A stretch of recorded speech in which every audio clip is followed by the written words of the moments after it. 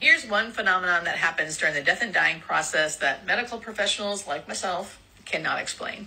There's something that happens that we call the rally. When I first started as a doctor, this freaked me out. So one of the patients I was looking after developed severe abdominal pain. We get a CT scan and it shows he's got a perforation of his intestines. Not good. Basically, he's got a hole in his gut and feces is leaking inside him.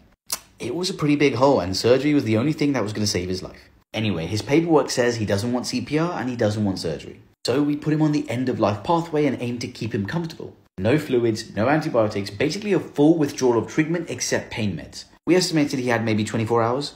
I come back to work after a week of holiday and he's alive. Not just that, but he's also eating fish and chips. In just one week with no treatment, it looks like he's completely cured from a life threatening condition. But literally a few hours later, he becomes unresponsive, has a cardiac arrest, and passes away. The rally, the surge, terminal lucidity. There are lots of theories, but to be honest, no one has a